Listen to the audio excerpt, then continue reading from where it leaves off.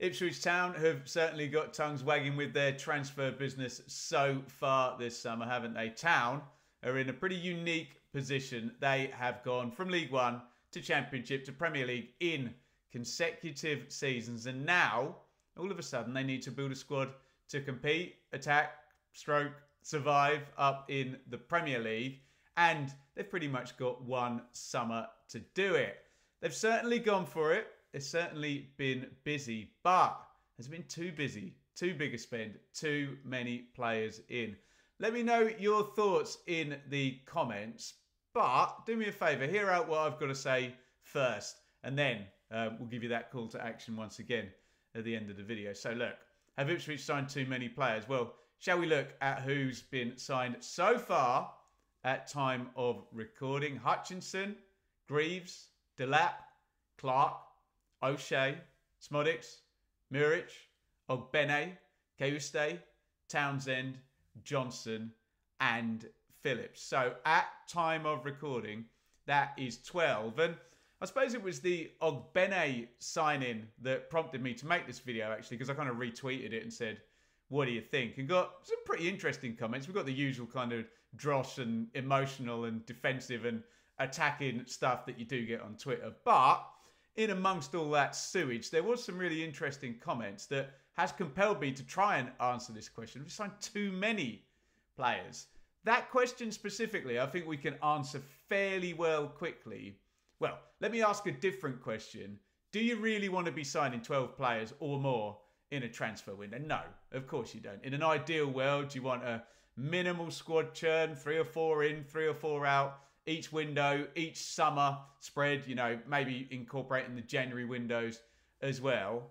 But sometimes needs must. And I remember the Forest fans trying to explain this when all of the outside world was saying, you're signing too many players. And there's a little bit of a sense of, well, what else do you want to do? In the in the Forest instance, it was a team that was built on loan players that had been sort of promoted double quick by Steve Cooper, having just arrived in the summer.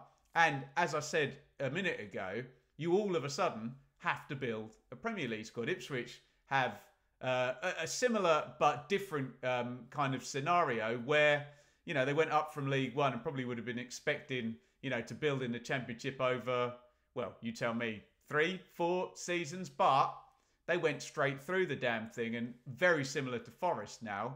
They're probably not like, for example, a Brentford who very brilliantly, over probably eight or 10 transfer windows, gradually improved their team, improved their squad, spent a little bit more, raised a little bit more.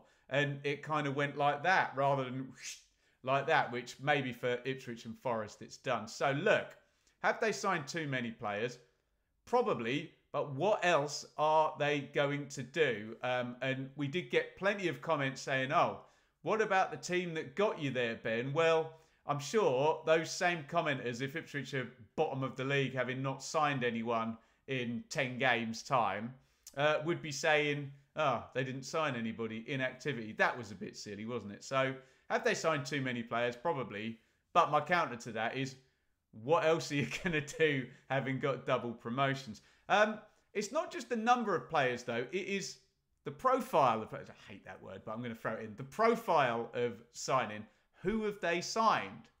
Well, um, if we boil this down, there's one free transfer in there, Ben Johnson, and then two loans, Kalvin Phillips and Jens Cajuste. And I suppose if you're going to do the loan thing, you need to do that on players that you couldn't afford to buy, and frankly, that you know can go if you get relegated, or if they do really well, they're obviously going to you know, go and be sold by their by their parent club or what have you. But Ipswich needed to address central midfield, and you know, a 25 year old, 28 year old, two international midfield players. I think if you're going to use your two loans, do it that way. Um, there's two players in from big academies, Liam Delap and Omari Hutchinson. Um, the naysayers will say, well, they're not proven at Premier League level. Well, yeah, that's true. What you're going to do, but I think on the positive side, you take very young players and you know bring them into the Premier League world. If they thrive, their value goes up. If they're kind of you know struggle a little bit and you do go down, well, in theory, they should both be all right in the championship, you know. And obviously, there is the third scenario of a complete bust, but let's hope that that is not going to be the case. Um, you've got three from relegated teams and three from the championship. And these are the ones that get the most negative comments, I guess. You know, why are you signing players that just got relegated? Why are you signing players from the championship? So, um, O'Shea, Muric, and Ogbene have all come from teams that got relegated last season. Uh, Szmodics, Greaves, and Clarke have all come from the championship. In terms of the relegated um, players, I get the argument why you're signing relegated players, but in this weird stasis kind of in between the Premier League and the Championship, where that massive gap occurs, there is this kind of market for players that are traded between top Premier League clubs and bottom Championship clubs. And again, uh, sorry, bottom Premier League clubs and top Championship clubs. You knew what I meant.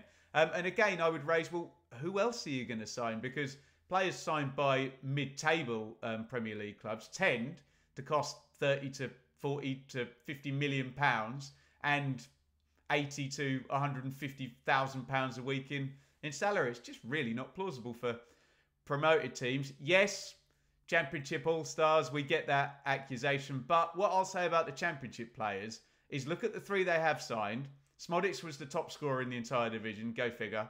Greaves, young, left footed English centre back, you know, always tend to go well, those type of players. And Clarke was fantastic for Sunderland pretty much until injury and um, a bit of a managerial vacuum occurred up in the northeast there. So, who are the players?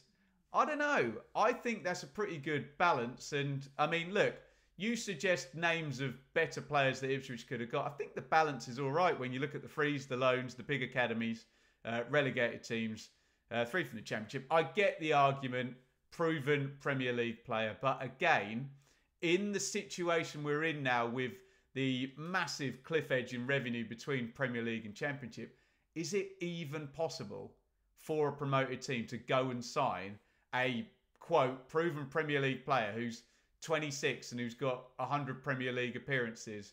Is that possible with the revenues and with FFP and P&S? You tell me. So, look, let's try and get to the bottom of this. Um, have Ipswich signed too many players? Well, I've answered that, probably. But what else are they going to do? You know, ride out a squad that was built in League One in the big league and probably get relegated. That did not go down well at, you know, say the likes of Norwich and Sheffield United, who haven't really pushed the boat out quite as much as other teams have. Um, have they paid too much? Well, you can only really judge that afterwards, can't you? Because again, given the cliff edge between EFL and Premier League money, basically any signing that keeps you in there, unless you have spent an astronomical amount of money, and we're talking tens of millions, um, is probably worthwhile. Yes, probably some you'd look and say, oh, that could have been cheaper. And then others, you think, okay, that might be a bit of a bargain in the context of the ridiculous transfer fees paid for football players. Um, in terms of quality, well, we'll find out, won't we? If the question is, can these players get survival for Ipswich? Well, we'll find out. I think it might be touch and go, and we're looking for an overperformance from the manager. Again, I will say, who else? Who else would you bring in? Name names if they're if they're not good enough. Name names of who could realistically have come in. And I think on the other side of it is it about survival or is it about a long term picture? And no one can argue that Ipswich haven't upgraded their squad. And the question then I would ask, ask to you is is it realistic for a championship club, especially one that's gone back to back promotions, to upgrade their squad, tick that box, and make it survival ready? I don't know whether it is. And in the long term, do you want a better squad and not completely, you know, go into financial meltdown, which looking at the ages of the players and the possible resale value and the loans should be all right given they can make some sales next summer if they do go down. Then, you know, is there any other option than rolling the dice in this type of way? I've put in the thumbnail brave or stupid. If we're agreeing that 12 is too many in an ideal world, you don't want to sign that many. Brave or stupid? Well, definitely brave. You know, I think the um, the worst decision you can make in life sometimes is no decision. It would have been a hell of a gamble just to roll with the squad built in League One that got out of the Championship. So brave, I think yes. Stupid, we'll find out, won't we? If they and that's binary, isn't it? If they go down, everyone will say the business is bad.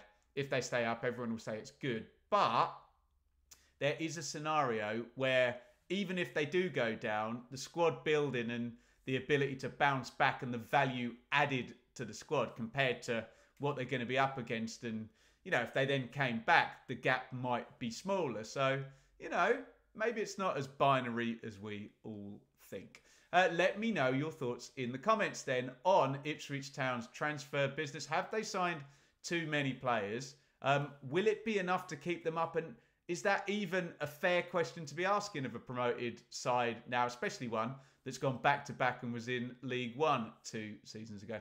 Let me know your thoughts in the comments. Now, judging by the, um, you know, like the retweet I mentioned of the Ogbene sign and some of the comments in that, um, we will get some extremes in the comments here. So if you can try and avoid, if you're an Ipswich fan, on the one hand, toxic positivity and anyone even daring to ask the question that this might not work out is getting shouted down. Come on.